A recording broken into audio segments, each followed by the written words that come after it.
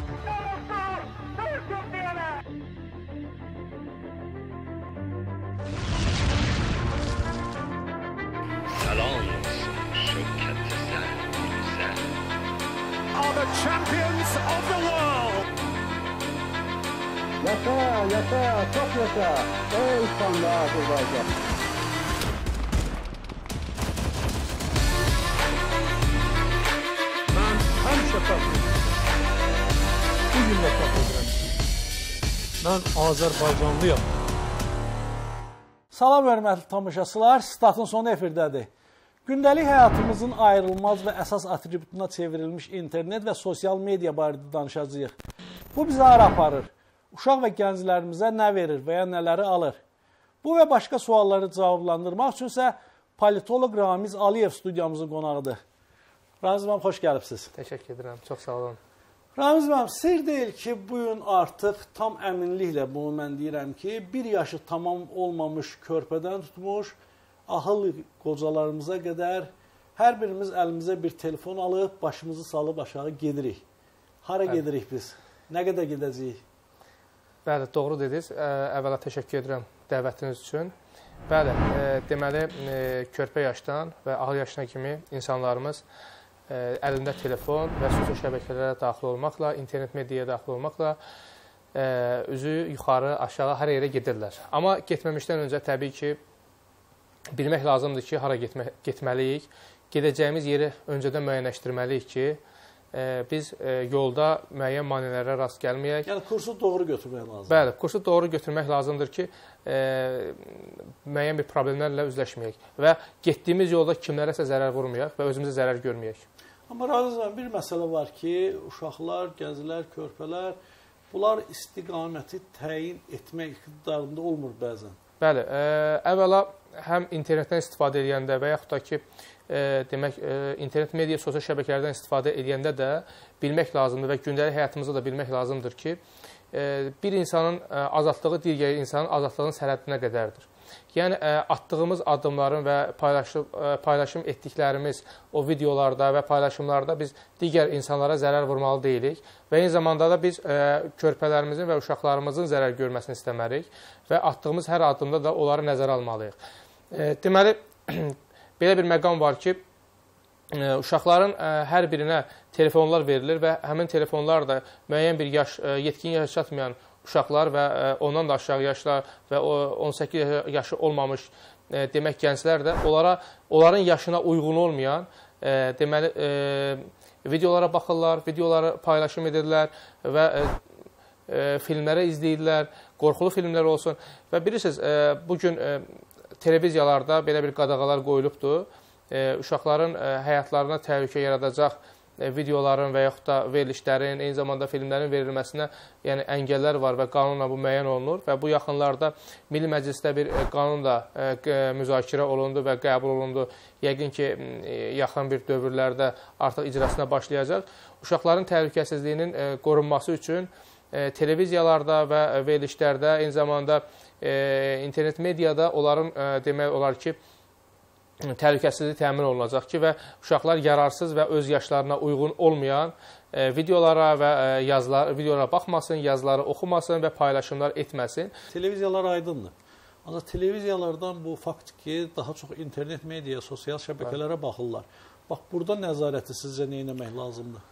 Mən e, bir məqamı qeyd edeyim ki, e, bəli, e, bizdə e, internet azaddır, e, sosial şəbəkələr azaddır və hər kəs istədiyi e, e, profili açıb istifadə edə bilər.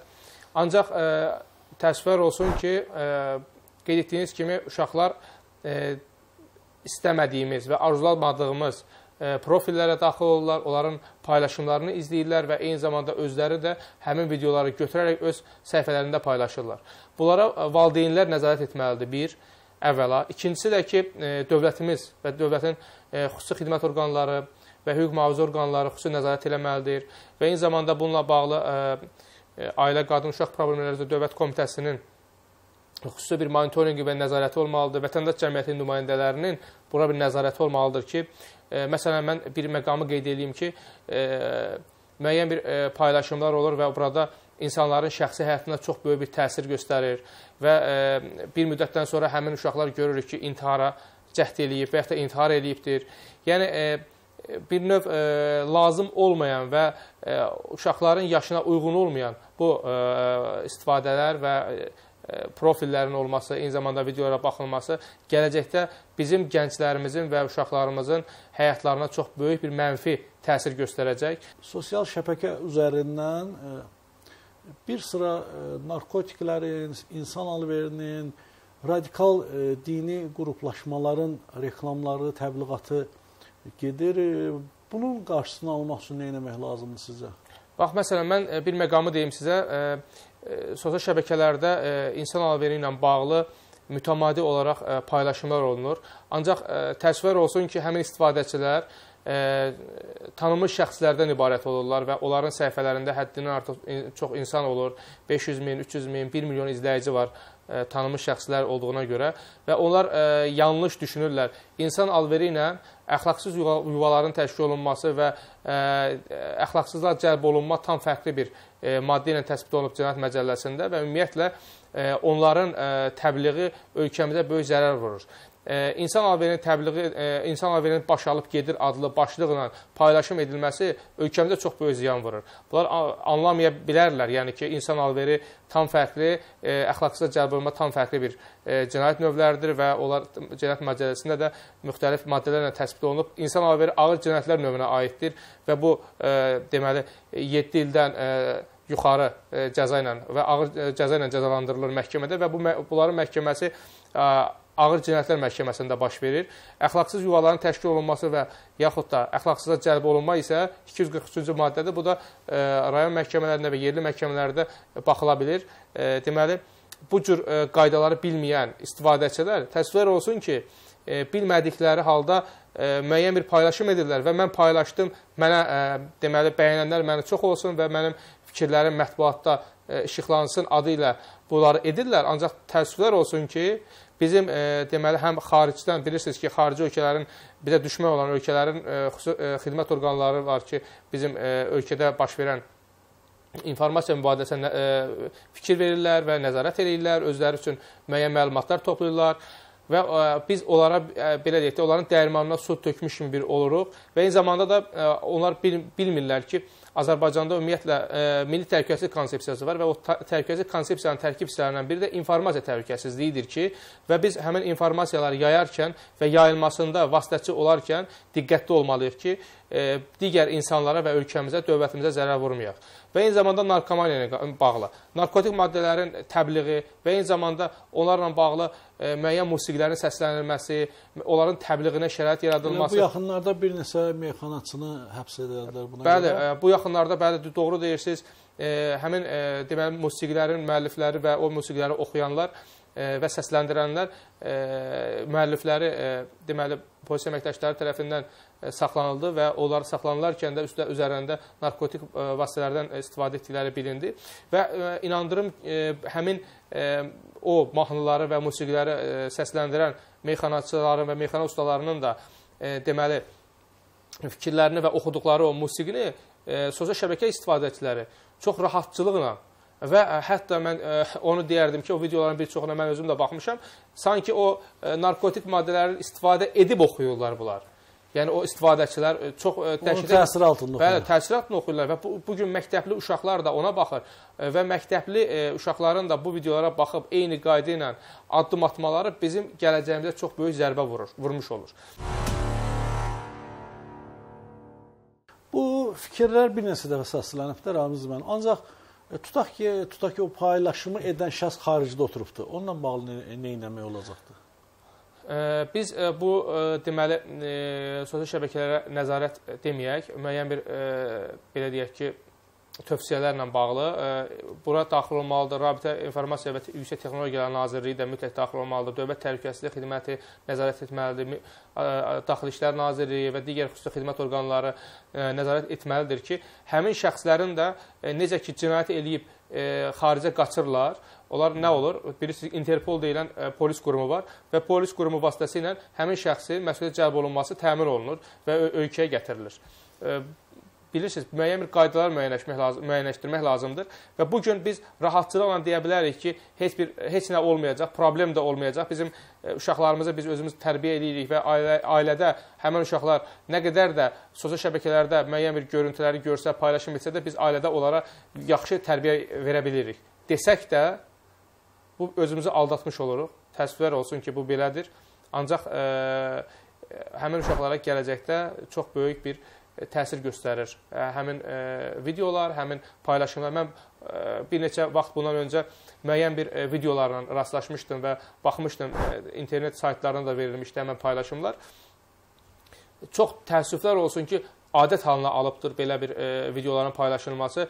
E, kimsə ailəsində problem olursa, həmin öz e, ər arvadının, xanımının videosunu paylaşır, xanım həyat yoldaşının videosunu paylaşır, e, ərinin videosunu paylaşır sosial şəbəkələr vasitəsilə və yaxud da ki, kimlərsə gedib hardasa oturub yeyib içirlər, e, kef məclisi düzəldirlər və həmin kef məclisində xanımları e, lazım olmaya olmadığı formada gizli şəkildə bəli, çəkilir. gizli şəkildə çəkirlər və bu da onların həyatlarında gələcəkdə çox böyük bir problemlər yaradır. Və bu cür çəkilişlərin bəli, bizdə qanunda müəyyən olunub ki, gizli çəkilişləri edənlər məsuliyyətə cəlb olunur.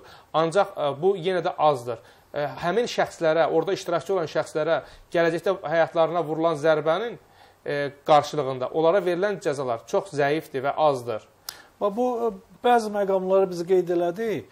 Ancaq fakt budur ki, bu gün e, sosial şəbəkələr həm də bir şantaj e, obyektidir. Bəli. Kimlərsə çəkilir, kimlərsə e, hansısa videolarının yayımlanması ilə hədələnir, qorxudulur və e, baş verən intihar hadisələrində də e, aydın olur ki, tutaq ki, kimsə e, hansısa çəkilmiş videosunun e, Facebooka qoyulması hədəsini eşitdikdən sonra tutaq ki, gedib intihar eləyib. 2009-cu ildə Azərbaycan Respublikasının deməli qanunda müəyyən dəyişikliklər oldu və orada qeyd olundu ki, gizlin səs yazmalar və gizlin video çəkilişlərin olması qadağan olunsun. Referendumla müəyyən olundu və keçirilən seçkilərdə də təsdiq olundu.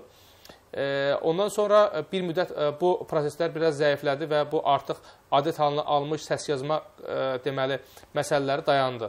Ancaq təəssüflər olsun ki, bu gün yenidən bu sosial şəbəkələrin daha çox genişləndiyi bir dövrdə bu hallar demək olar ki, əvvəlki dövrlərdən də daha çox artıbdır və təəssüflər olsun ki, bu cür davamiyyət hələ də var və insanlar şantaj olunur, insanlar ə, səs yazmaları ilə ə, istə, istədiyin E, istənilən şəxs digər insanla söhbət eləyir və onu e, ona müəyyən suallar verib, onun səsini e, yazırlar və istədikləri vaxtda, istədikləri zamanda sosial şəbəkələr vasitəsilə həmin səsləri və videoları paylaşırlar və digər 500 minlik, 300 minlik, 1 milyonluq səhifələrdə həmin insanın, şəxsin səs yazısı və videosu gedir və həmin qarşı tərəf nə edir? Qarşı tərəf çox böyük bir psixoloji duruma düşür və ən pis halda o intihara cəhd edir və intihar edir.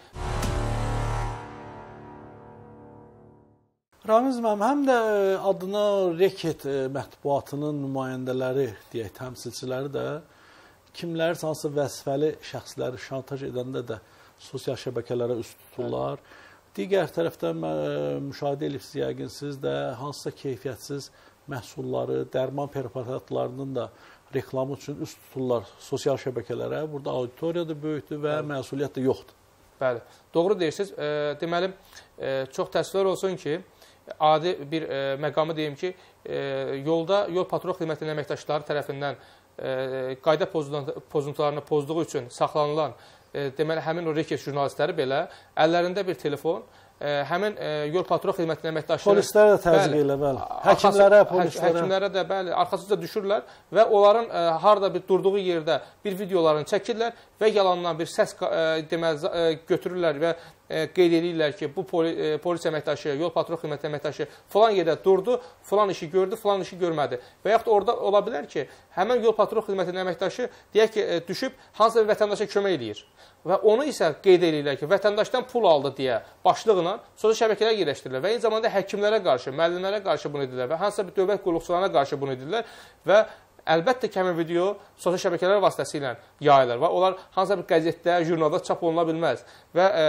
yazı ola bilər, çap olunur və həmin gedir onun ə, tapır ə, deməli Bu əvvəlki illərdə belə ə, çox ə, çox yayılmış bir hadisə idi ki, qəzetdə çap edirdilər və aparırdılar həmin deməli polis əməkdaşına və dövlət qulluqçusuna, həkimə, müəllimə ki, baxın sizin yazınızı yazmışıq və əlavə də yazacağıq. Bizə bu qədər maliyyə vəsaiti verməlisiniz. İndi isə təəssüflər olsun ki, yenə sosial şəbəkələrə üst tuturlar və həmin şəxslərin əməkdaşlıq elədiyi və dırnaqçı ə, mən bunu demək istəyirəm, dırnaqçı əməkdaşlıq elədiyi sosial şəbəkələr var. Həmin sosial, şəbəkələr vasitəsilə o videoları yayılmağına ə, cəhd edirlər və yayılmağına səbəb olurlar. İnsanlar da artıq həmin dövlət orqanının əməkdaşına və hüquq mühafizə orqanının əməkdaşına, həmin həkimə və yaxud da ki, həkimlik sahəsində çalışan, deməli, səhiyyə sahəsində çalışan insanlara etimadı azalır. Ramazan təşəkkür edirəm studiyamıza gəldiyinizə görə və maraqlı söhbətinizə görə. Mən təşəkkür edirəm. Çox sağ olun. Sizinlə də sağollaşır hörmətli tamaşaçılar. Özünüzdən müğayət olun. Gələn həftə mütləq görüşəcəyik.